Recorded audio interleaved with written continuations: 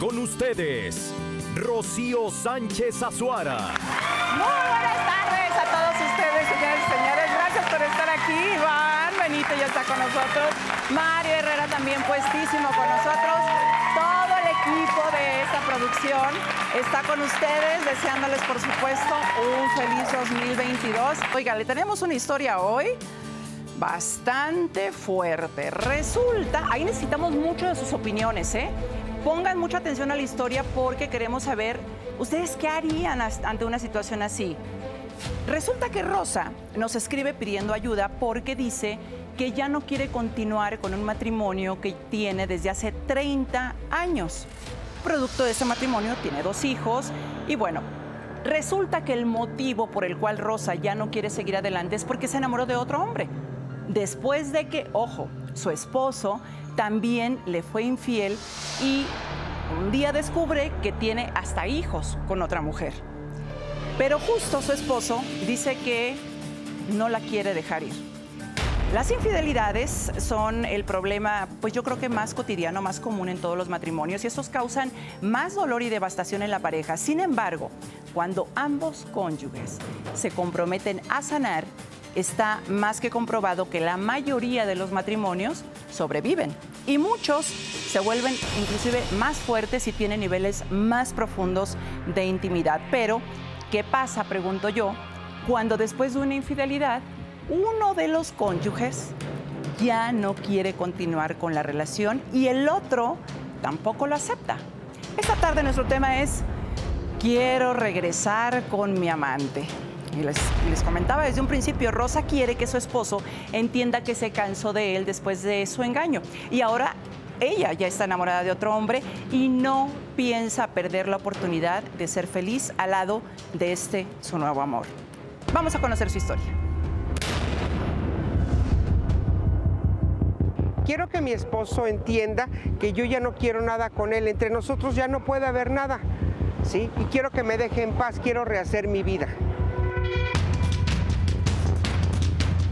Yo ya me cansé de mi marido, no quiero que me esté molestando, yo ya no confío en él, no quiero nada con él, quiero que me deje hacer mi vida en paz. Ahora estoy enamorada de otro hombre y no creo que voy a perder esa oportunidad. Quiero rehacer mi vida con él. Bienvenida, doña Rosa.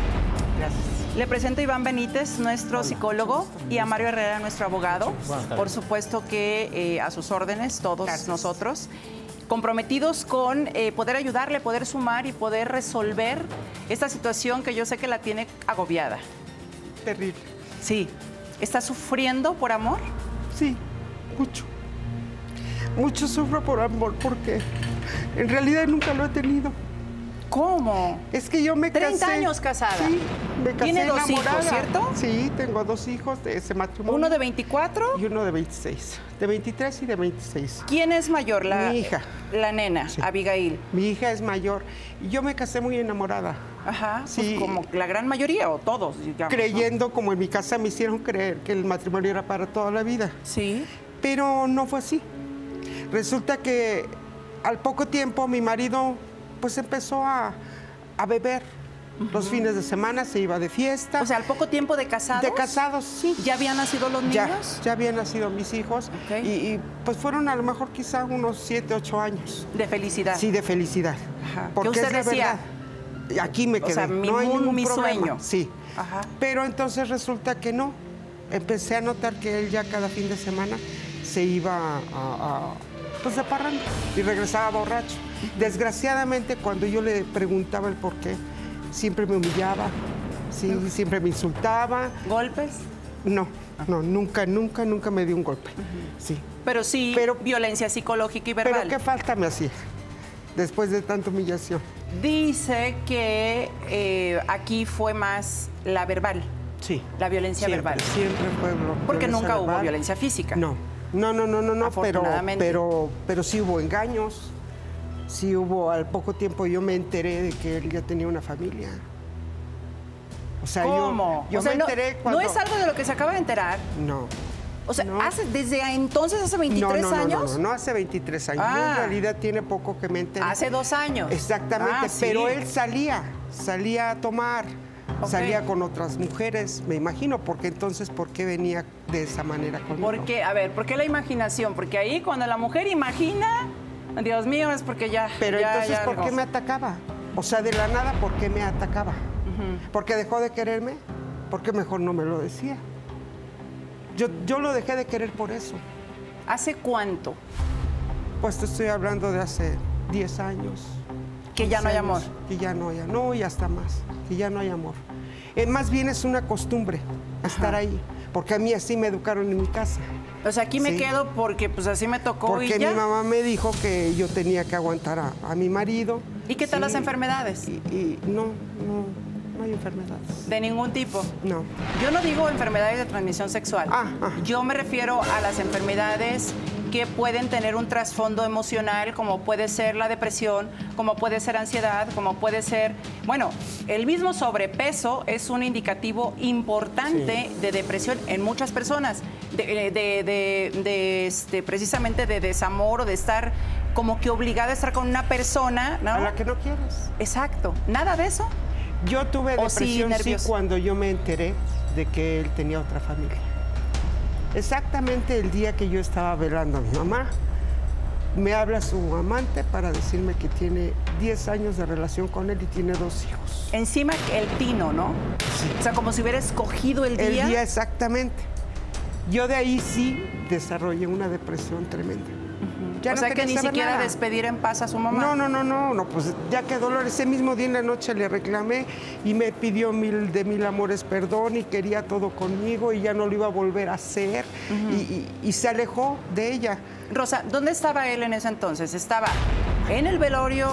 En el velorio ¿Puedo conmigo. hablarte de tú? Sí, claro que Eso- sí. Eres muy joven. Me- te voy a hablar de tú, si me lo permites. Sí, claro. ¿Estaba en el velorio contigo o estaba con la amante? No, no, no, estaba en el en velorio, el velorio conmigo contigo cuando me habló la te amante. llama el amante. O sea, entonces ha de haber sido una reacción de para que se entere, ya que no está conmigo, pues para que se entere de una Poco vez. antes de que me hablara a mí, ella habló por teléfono, Ajá. sí, y me pidió hablar con él, que le hablaba de la empresa donde trabajaba. A tu teléfono. a mi teléfono. Entonces eh, yo se lo comuniqué y, escuché que peleaban, pero hasta ahí. Pero cuando Pero colgaron, enseguidita me, me llamó otra vez ella y fue cuando me dijo que debía de enterarme que él tenía 10 años de relación con ella ¿Le tenía dos creíste? hijos. ¿Le creíste o, o dijiste, es alguna loca o de- no puede ser? No, porque la, la discusión que tuvieron poquito antes se oía así como de mucha confianza. Mm. Y no te voy a volver a ver. y- Entonces yo me esperé hasta que pasó todo lo de mi mamá y en la noche hablé con él. Sí. Y, y le reclamé, sinceramente, Obviamente. y me dijo él que, que pues sí, efectivamente, tenía 10 años con ella.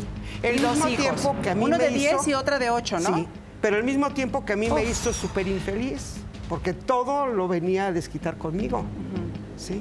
Entonces me pedía perdón, que yo regresara con él, que, que ya no lo iba a volver a hacer. ¿Perdonabas? O sea, no. Ya no. No. O sea, No, es que me encanta tu, Era mucho tu sinceridad. O sea, vaya, es puro lo que siente y va. Pues es como- que es la verdad, o sea, es que no así hay que hablar y así hay, No. que, y así hay que hacerlo. ya no, o sea, le dije, no, ¿sabes qué? Ya no, ya no. Siguió molestándome que, que regresáramos. No, ya no.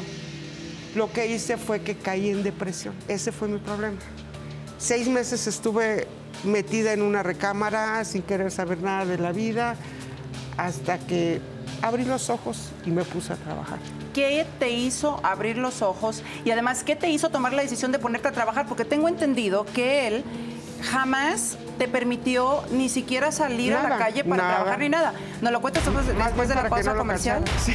Para que no lo cachara. Exactamente. O para que simplemente, como puede ocurrir en algunos casos, algunos caballeros algunos señores lo que quieren es evitar que las señoras sean independientes.